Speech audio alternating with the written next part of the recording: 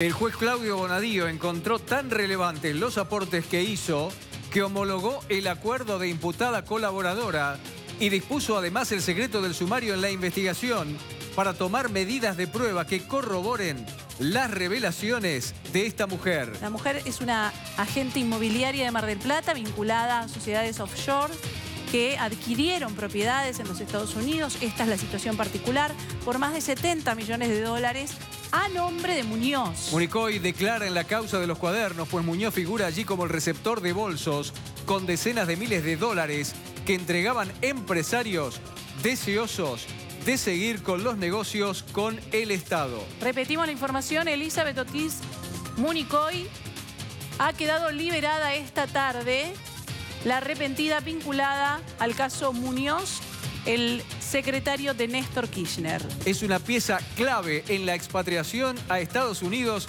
de unos 70 millones de dólares del fallecido Daniel Muñoz, que como dijo Sandra recién, fue secretario de Néstor Kirchner.